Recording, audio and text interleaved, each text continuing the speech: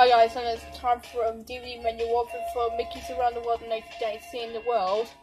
Now this is a Disney Learning Adventures DVD. It's been released in 2005 and we've got The Sorcerer's Apprentice play, got scene selections,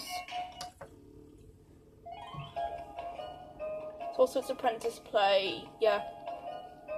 Just, just got numbers for chapters and everything.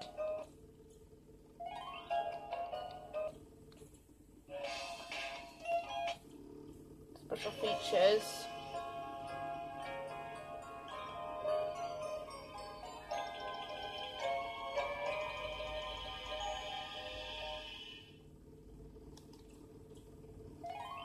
I, I just got a game called Sorcerer's World Challenge.